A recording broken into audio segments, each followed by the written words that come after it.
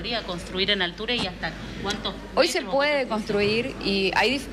no te voy a decir exactamente por cada zona porque son varias, porque cada zona de la ciudad tiene como dos grandes rubros, si se quiere, uno que tiene que ver con la actividad con, la, con, la, actividad que, va a, que se puede desarrollar o no se puede desarrollar. Ahí podemos pensar en actividades comerciales, eh, bueno, y cuestiones residenciales. Y otra, bueno, por la zona en la que está la ciudad ubicada eh, específicamente, ¿no?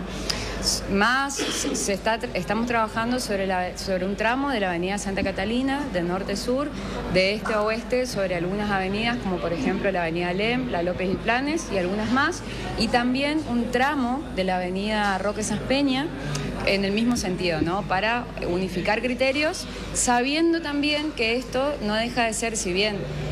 una, con una mirada más integral y más abarcativa de este proceso, que hoy tiene diferentes partes y diferentes criterios para poder construir en misma avenida.